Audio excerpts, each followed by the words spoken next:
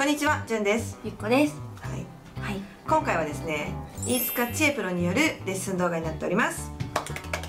はーいはーい、いつも楽しみです。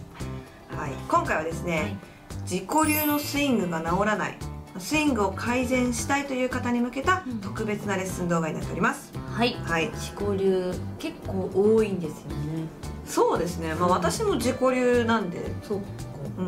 うんでもまあこれはいいパターンよまあでもでもミスが出た時はなんでかわかんない時があるんで、うんやっぱ原因がちょっとわかんないことが多い。うんで、まあ、今回の内容なんですけども、うん。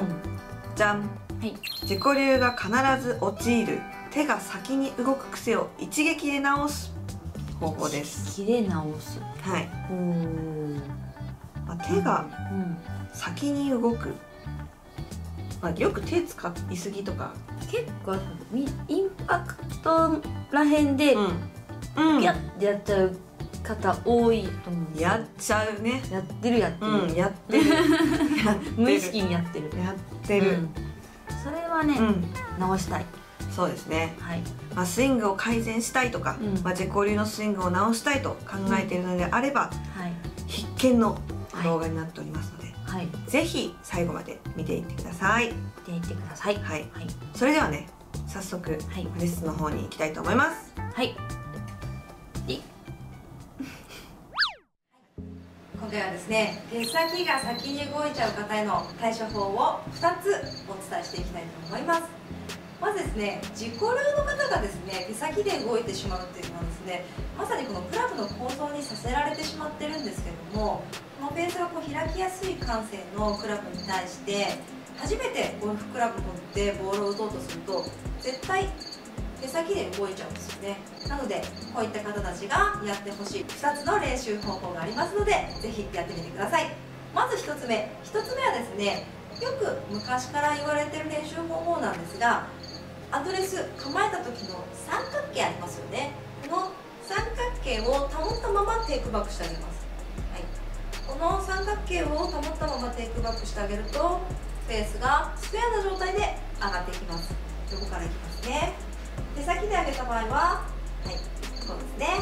右側に開きやすい感性のクラブに対して手先で上げると開いちゃいます。しかし三角形を保つとフェースをスクエアに保つことができてテイクバックがえスムーズになります。はい。ということでまず1つ目はこの三角形を保ってスタートしてあげる。でどこまで保てばいいのって話ですよね。時計の針でいうと7時最低7時まで。体が柔らかい方ですとこの上半身と下半身を分離することができるので8時から9時まで持っていくこともできるんですが、はい、7時まではこの三角形を保ってあげると手先で手上げすることがなくなるのでぜひ練習中にやってみてください。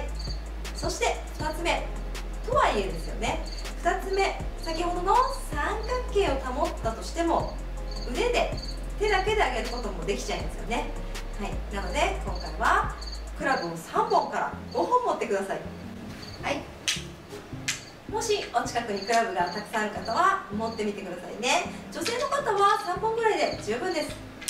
3本持ってあげてアドレス取ります。そして7時から8時まで上げてください。この時に手先だけだと上がらないんですね。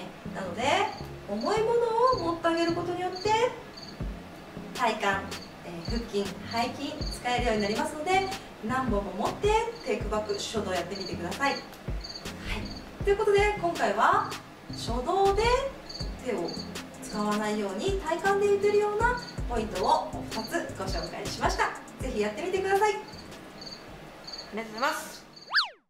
はい、皆さんお疲れ様でした。お疲れ様でしたはい、今回の自己流が必ず陥る手が先に動く癖はいを一撃で直す方法はいかがでしたでしょうか？